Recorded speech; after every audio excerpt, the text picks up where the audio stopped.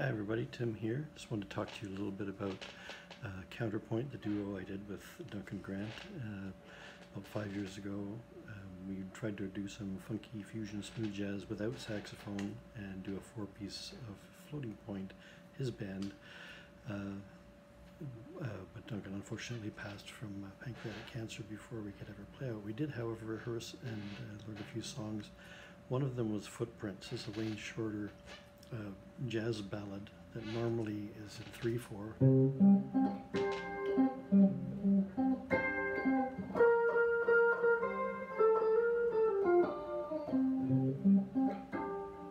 Like that. But uh, I brought Duncan a version uh, that had been done by a, a fellow called Devian. Devian Jazz is a site, and he straightened it out into 4 4 uh, and played a, a, different groove, which Duncan loved, but he thought it was too straight.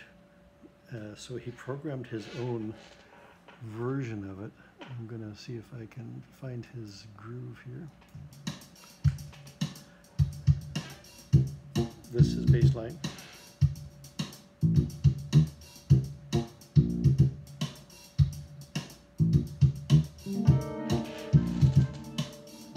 So that was the feel that he was going for. He also added some cool uh, turnarounds, key change for solos, uh, guitar and piano solo, and then a key change back uh, for the melodies and, and, the other solos on the way out.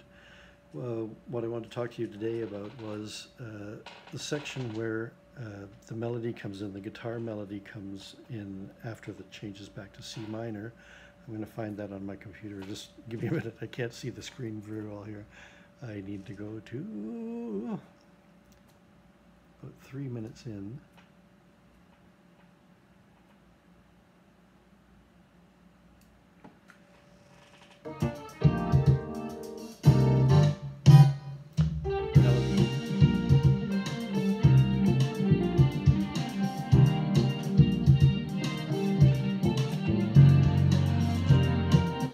If you can hear a little bit underneath, there's this pulsing sequencer part that was on the Devian Jazz uh, version had a sequenced ostinato part, and I tried to recreate something similar on the guitar uh, using echoes. I put a slow gear, it slows the attack of the pick uh, on the guitar, and a 420 millisecond delay with just one repeat, uh, which you have to play in time with the song. That's I, I just found it by trial and error, found the right tempo to match up with the song. And then you get this kind of thing.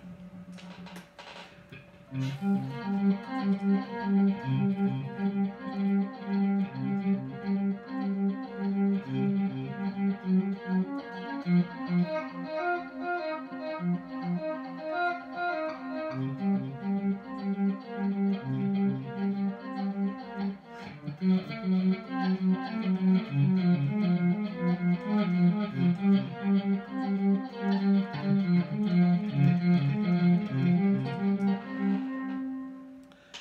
what's happening is I'm only playing half the notes. The echo plays the other note in tempo, so I only have to play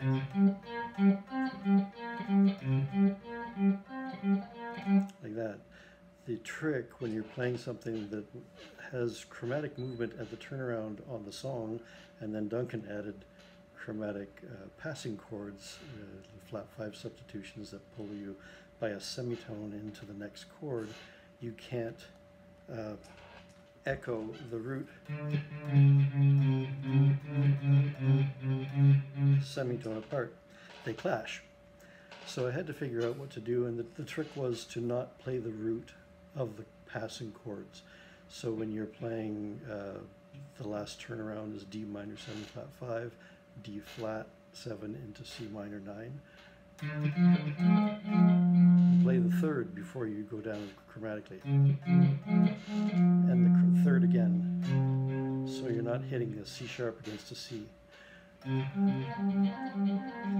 the same when you transition to F minor, there's a quick F sharp uh, flat five substitution, and you play the third of the chord.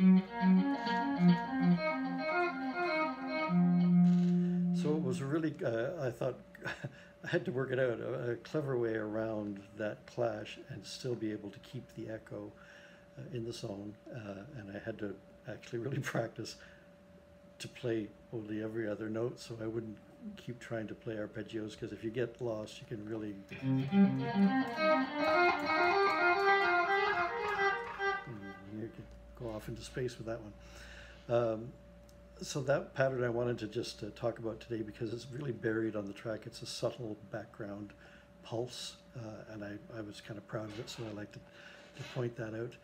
Uh, after that section comes in with the melody, there's a, a distorted guitar solo. We had a clean guitar solo, electric piano.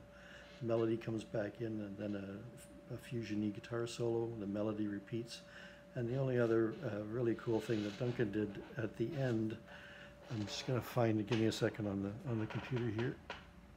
I can't see my screen around the iPad camera that I've got set up. So let's see if we're near the end.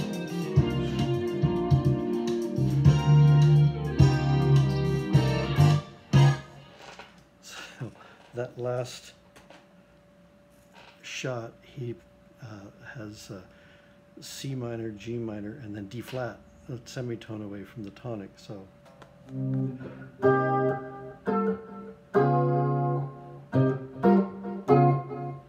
you get this echoing semitone up, it just leaves you hanging.